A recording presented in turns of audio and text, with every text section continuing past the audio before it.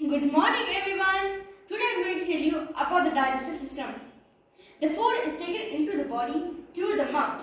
This process is called ingestion. We chew the food with our teeth to break it down mechanically into smaller pieces with the help of saliva. We have our salivary gland in our jaws and cheeks.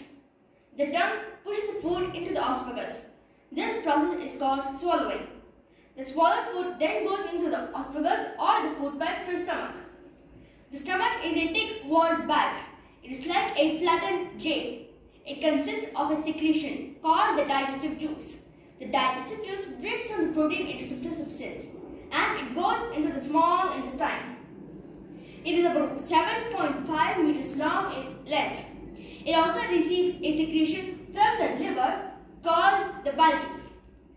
The juice is stored in a sac called the gallbladder. The juice plays an important role in the digestion of fat. The small intestine also consists of a finger-like structure called the villi. It increases the surface area for absorption of the digested food and goes into the long intestine. It is about 1.5 meters long in length. Its work is to absorb salt and water from the digested food. And the waste material goes into the rectum and anus. This whole process is called digestive system. Now I'm going to show you in a practical manner.